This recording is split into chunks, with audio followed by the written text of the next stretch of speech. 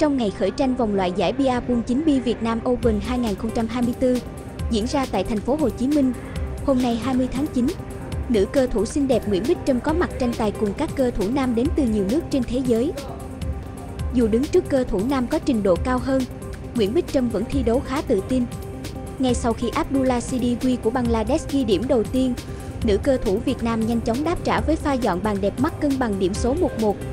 Tuy nhiên sau đó, cơ thủ người Bangladesh từng bước khẳng định được trình độ nhỉnh hơn của mình, qua đó giành chiến thắng chung cuộc với tỷ số 9-4.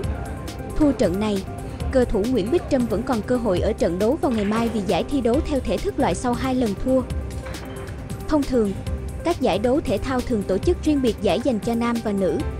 Thế nhưng với bộ môn bia, nhằm tạo điều kiện cho các cơ thủ nữ có thể thi đấu cọ sát, Liên đoàn Bia Thế giới đã chấp nhận cho các cơ thủ nữ được đăng ký thi đấu tại một số giải của nam, ở một số nội dung như carom ba băng, buông. Tuy nhiên, các cơ thủ nam thì không được qua đánh các giải dành cho nữ.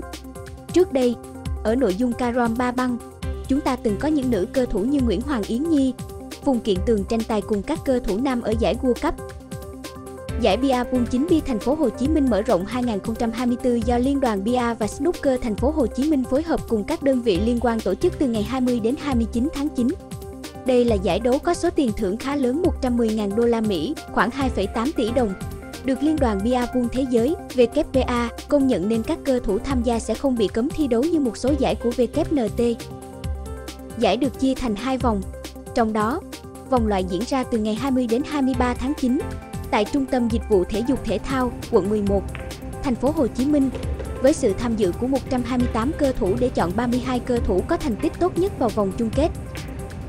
Vòng chung kết diễn ra từ ngày 25 đến 29 tháng 9 tại nhà thi đấu Hồ Xuân Hương, quận 3, thành phố Hồ Chí Minh, quy tụ nhiều cơ thủ hàng đầu thế giới tranh tài.